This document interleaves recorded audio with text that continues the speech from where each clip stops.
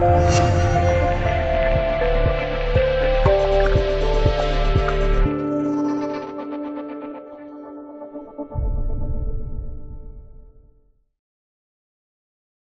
年曾令人眼前一亮的 Google Glass 谷歌眼镜，一度引发了智能穿戴的热潮。而在智能手表领域中，谷歌却一直没有实际的产品出现，不免让我们始终充满期待。此前不断有消息称，谷歌即将在今年第三季度发布 Pixel Watch 智能手表，但这一计划目前已经确认泡汤。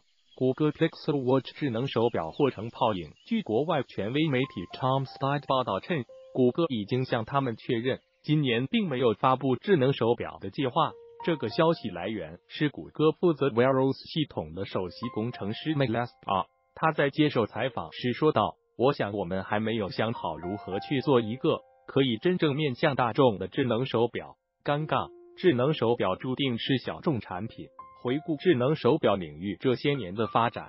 谷歌工程师 m i l a s p o r 似乎道出了智能手表领域尴尬的现状。此前，苹果曾经尝试将智能手表打造为时尚新宠的定位，而现实情况是，尽管智能手表的功能不断被强化，但是最核心的用途依然是在健身领域。最畅销的 Apple Watch 智能手表的出现，确实给我们的生活带来了很多的便利，甚至已经越来越像一个独立的手机而存在。尽管 Apple Watch 的销量确实还不错，但很大一部分归功于苹果的品牌影响力以及在发布初期形成的一股风气。时至今日，当用户的需求趋于冷静的时候，或许只有那些真正需要的用户才会购买一款智能手表吧。Apple Watch 是否是成功的产品，我们无法轻易下结论。但是摆在谷歌面前的尴尬情况是。做一个跟 Apple Watch 类似的产品，那么意义何在？毕竟对于谷歌这样的公司而言，与其让他们跟随其他品牌，倒不如让他们彻底放弃这个市场。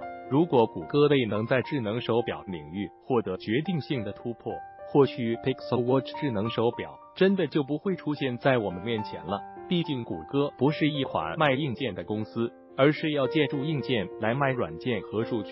鸡肋，新鲜几天就成吃灰产品。或许在谷歌看来，目前阶段智能手表还很难形成彻底颠覆性的设计，从而适合普罗大众每一个人的需求。如果将智能手表的功能无限拓展，那么最终打造的不就是一部戴在手腕上的手机吗？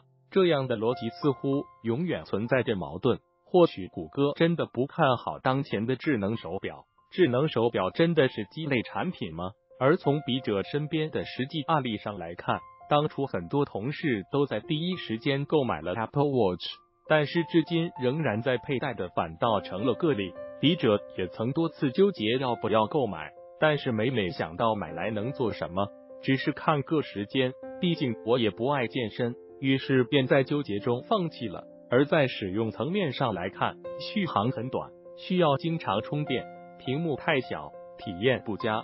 功能有限，用户们对于智能手表吐槽的声音却始终没有停止过。毕竟，要想在这么小的空间内提供出色的性能和优异的体验，真的是有些超脱当前技术能力的范畴了。或许对于很多人而言，智能手表就好像鸡肋，食之无味，弃之可惜罢了。